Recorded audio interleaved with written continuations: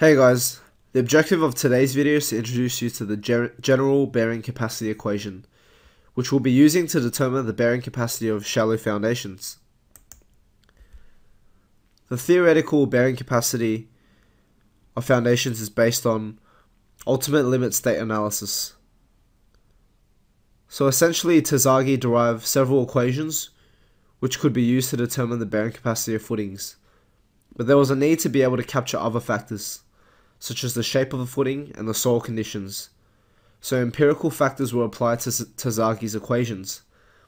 And this new general equation is what is now used in geotechnical design. So this general equation is known as Hansen's equation and is shown here. The equation has quite a few factors applied to it as you can see here.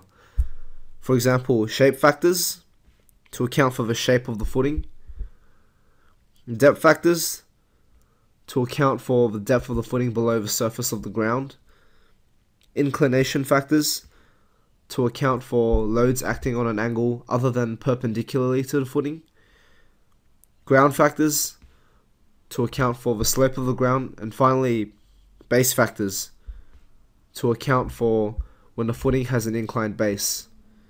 C here represents the cohesion of a soil. QO here represents the pressure experienced at the base of the footing. Gamma represents the unit weight of the soil. And B represents the width of the footing. Now with these factors, you only use the factors which are applicable to your footing. For instance, if the ground is flat, for example, then you don't need to worry about your ground factors. If the load applied to the footing is normal to the surface, like so, then you don't need to worry about the inclination factor. And if the footing is on the surface of the ground, then you don't need to worry about the depth factor because that the distance below the, the surface of the ground is zero.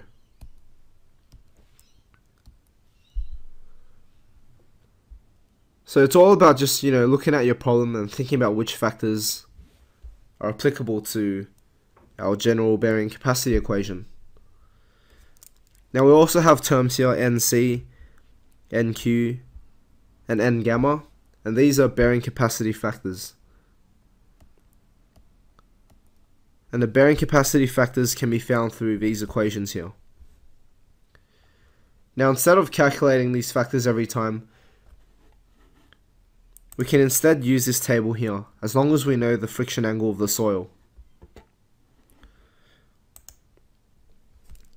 So here you can see a table which you can use to calculate your shape factors, depth, inclination, ground, and base, fa base factors. Note that if you have a question where the shape factors and inclination factors are both applicable, you cannot apply them both together in Hansen's equation. You need to consider them as two separate cases and take the smaller value of the two. In the next videos, we'll go through some examples involving Hansen's equation. Hope this helps, guys.